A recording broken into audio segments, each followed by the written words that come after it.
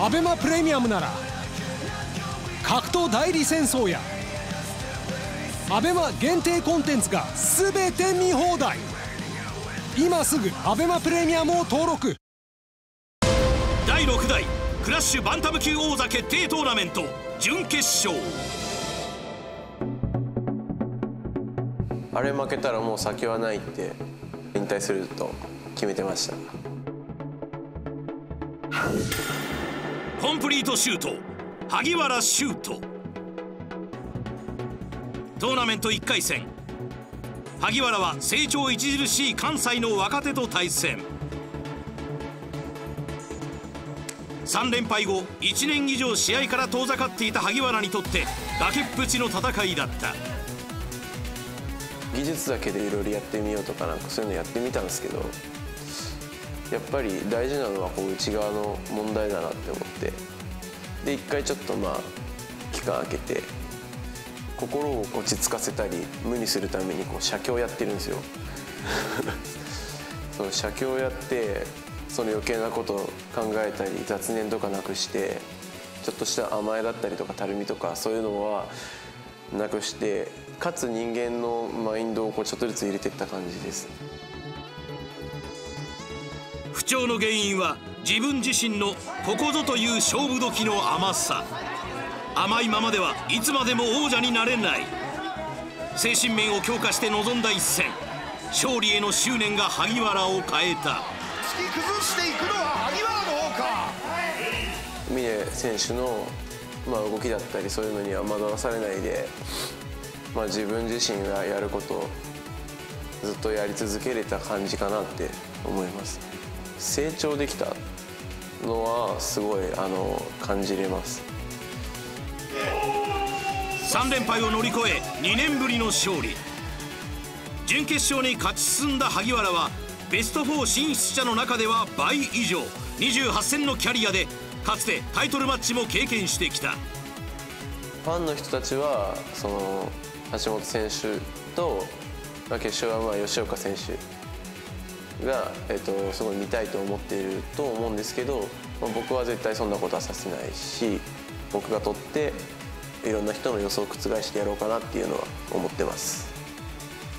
本当死に物狂いでベルト取ります。対するはシンデレラボーイ橋本真央。トーナメント1回戦。橋本はアマチュア時代に敗北している藤田和樹に判定勝利でリベンジ。準決勝に駒を進めた。もう始まってあ勝てるなって確信してうんなんかあ楽しもうみたいな。でいつもみたいに倒しに行ってたらいつもと一緒やからちょっとここでこうしたりああしたりとかいろいろなんか心に余裕もあって楽しめましたね試合が。橋本が所属する K1 ジム相模用のクレストはまさにスター軍団。K1 スーパーフェザー級王者タケルを筆頭に山崎秀明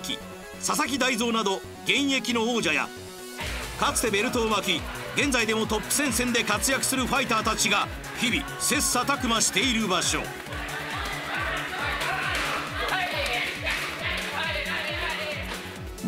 まあ、試合はもちろんなんですけど練習の姿勢がやっぱり違うなっていうもう、うん、試合かのようにアドレナリン出してやってるっていうのを見てるから勉強になりますね、はい、そんなスター軍団から昨年9月に華々しくデビューするも2連敗を喫してしまった橋本。僕が勝つってみんな思ってくれてやったんでスポンサーの人とか地元の面談が激励会みたいなのをもう予定してくれてやってそこにファンの人も合わせて200人ぐらい200人近く来てくれやってなんか正直負けたら離れると思っててで負けても応援するよって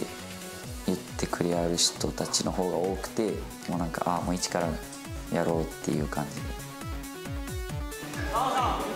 苦渋をなめてきたからこそこのチャンスは誰にも渡せない。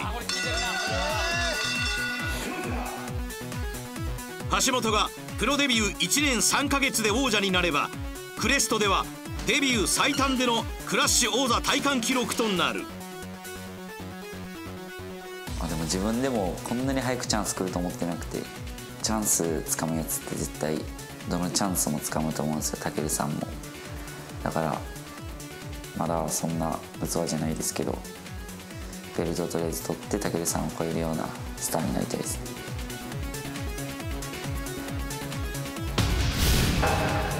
12月19日後楽園ホール。第6代クラッシュバンタム級王座決定トーナメント準決勝。萩原修斗 VS 橋本真央。